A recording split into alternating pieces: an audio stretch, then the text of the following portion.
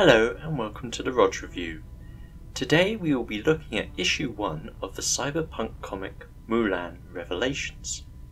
The series was created by Robert Alter, written by Marc Andreyko, drawn by Micah Kaneshiro, and lettered by Nate Piekos. It was first published by Dark Horse back in 2015. The story takes place in the city of 2120's Shanghai. As the deadly TRV virus rages across the world, pharma giant Sinotech is struggling to find a cure and finds it in the blood of our heroine Mulan.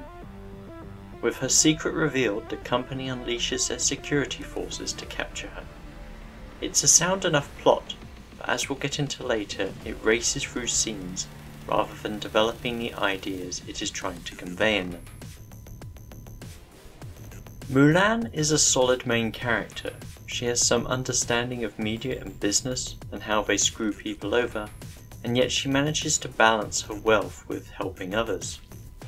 Unfortunately, the other characters are not given enough development to be noteworthy. And similarly, the art is good, but there aren't any particularly beautiful panels that you'd want to hang on the walls. The only time we really get to be immersed in a scene and feel any connection to the reality being presented is in Mulan's apartment as she's getting ready to go to her brother's party. The news being read in the background lets us know what is going on, her response to it gives us a peek into her beliefs and character, and the process for dressing for an occasion helps to earth the scene.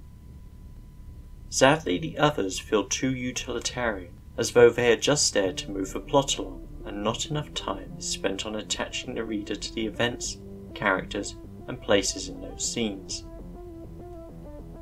To fix this, the issue would need to either be twice as long or only have half the number of scenes in it. But I guess the creative team either lacked the money to hire the artist for the length of time needed, or they had a deadline to meet.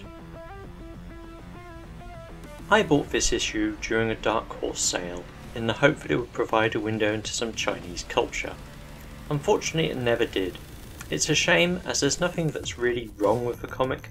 Hopefully, later issues will slow down the pacing and immerse the audience more in their world. As mentioned, this issue was picked up during a sale, and if you're interested in buying a copy, I suggest you wait till it's next on sale before getting it. Anyway, that's it for this video. Citations and links to the sources used can be found down in the description. As with all YouTube videos, please feel free to like, comment, share and subscribe to the channel. So until next time, have a good evening.